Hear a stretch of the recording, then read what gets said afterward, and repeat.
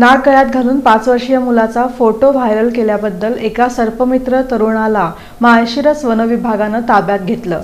न्यायालयानं त्याला forest custody दिली आहे पंक्चर दुकानदार असलेला आणि स्वतःला सर्पमित्र म्हणवणारा परशुराम दत्तू शिंदे वय एकोणतीस राहणार लवंग तालुका माळशिरस. या तरुणाला सर्पप्रेमामुळं सध्या जेलची हवा खाण्याची वेळ आली आहे त्याला बालपणापासूनच सापांविषयी उत्सुकता होती. त्यामुळं आसपासच्या परिसरात अनधिकृतपणे साप पकडणं आणि त्यांना निर्जन स्थळी सोडणं असा त्याचा छंद होता. या छंदापायी वडिलांनी आपल्या मुलाचं नावही सर्पराज ठेवलं होतं. एके दिवशी वडिलांनी अशाच पकडलेल्या नागाला मुलाच्या गळ्यात घालून मोबाईलमध्ये फोटो घेतला आणि उत्सुकतेपोटी आपल्या फेसबुक अकाउंटवर अपलोड केला. यासाठी भरपूर लाईक मिळतील अशी त्याची अपेक्षा होती. मात्र हा फोटो वनविभागाच्या नागपूर येथील वरिष्ठ अधिकाऱ्यांनी पाहिला आणि ताबडतोब या तरुणावर वन्यजीव संरक्षण अधिनियमानुसार कारवाई केली. त्यामुळं माळशिरस वनविभागाच्या अधिकारी आणि कर्मचाऱ्यांच्या पथकानं त्याला ताब्यात घेतलं. त्याला न्यायालयासमोर हजर करण्यात आला असता न्यायालयानं परशुराम शिंदे याला फॉरेस्ट कस्टडी दिली.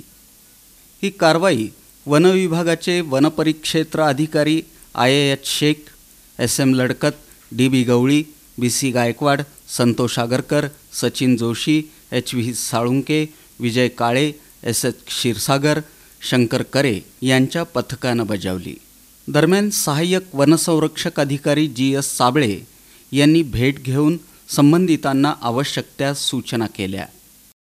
चोवीस नऊ दोन हजार एकोणीस रोजी आरोपी परशुराम दत्तू शिंदे यांनी काही दिवसापूर्वी नाग या जातीचे सर्प अवैधरित्या हस्तगत करून पकडून त्याचे प्रदर्शन करून लहान मु त्याच्या स्वतःच्या लहान मुलाच्या हातात विषारी नाग प्रजातीच जातीचं सर्प देऊन नागाच्या जीवितास व मुलाच्या जीविताससुद्धा धोका निर्माण केला.